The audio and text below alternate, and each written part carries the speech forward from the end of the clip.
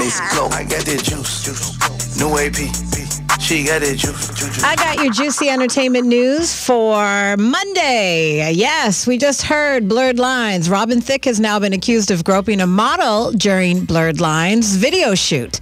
Emily Ratajkowski has accused Robin Thicke of groping her while she was on the set of the Blurred Lines video shoot. Now, she's been gearing up to release her new book called My Body, which is set to drop next month. And an expert from the book, an excerpt rather, of from the book has surfaced where she talks about what happened. She says, suddenly out of nowhere, I felt the coolness and forgiveness, foreignness rather, of a stranger's hand cupping my bare breast from behind. I instinctively moved away, looking back at Robin Thicke.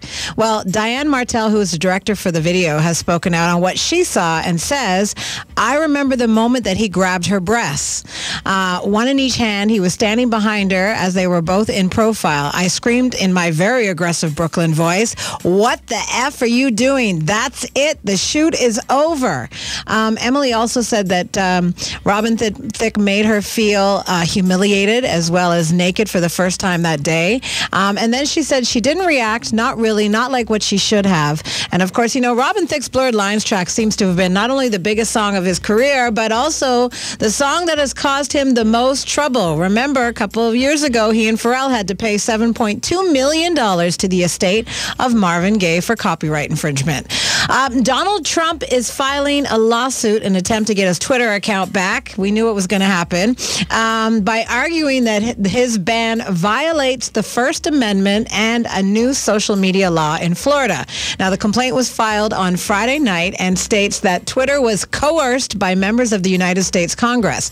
Trump's new filing also claims that Twitter exercises a degree of power and control over political discourse in this country that is immeasurable historically unprecedented and profoundly dangerous to open democratic debate. That sounds like every single speech that Trump's made, right? Um, Trump, who was indefinitely banned from Twitter on January 8th, lost his privileges following a report reported violation of the company's policy, and of course, you will remember the risk of further incitement of violence with what happened at the Capitol. Now, uh, Trump had 88 million Twitter followers before he was banned. I guess he just wants all that attention back. Lil Wayne is being sued for $20 million by his former lawyer for skipping out on a deposition. He was supposed to answer some questions about his settlement with Birdman and Cash Money Records, but he opted not to go to the deposition on August 24th and refused to provide available dates for the deposition. Now, Lil Wayne's former lawyer, Ronald Sweeney, is suing Lil Wayne for $20 million, saying that he stiffed him on commissions that were owed. Sweeney also says that he took over as Lil Wayne's manager after Cortez Bryant was fired.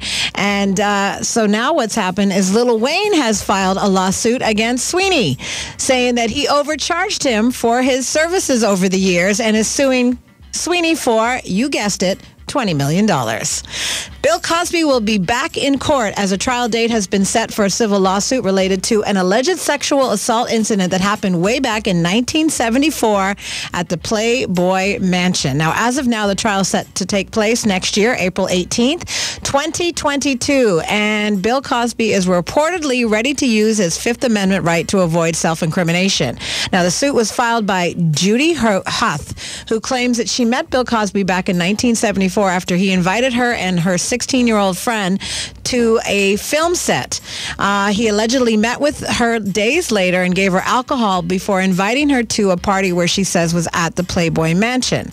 Now, Bill Cosby's publicist has issued a statement on behalf of Bill Cosby saying that he proclaims his innocence and denies all allegations. And that's your juicy entertainment news for Monday. Lock it in again tomorrow for more of the juice right here on the all new Kiss 96.